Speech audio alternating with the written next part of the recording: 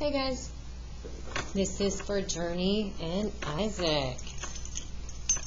The Case of the Missing Potatoes by Tracy West and illustrated by Joe Sutton. Hmm. There's a magnifying glass. He's got a hat like Sherlock Holmes, a famous detective. Looks like, what are they looking for? Hmm. Let's see what the back says. A mystery to solve. The potatoes for the Emerson family picnic have disappeared. What could have happened to them? Weezer and Scout, mass detectives, are on the case. Alrighty. You're going to be reading this by yourself. It's going to be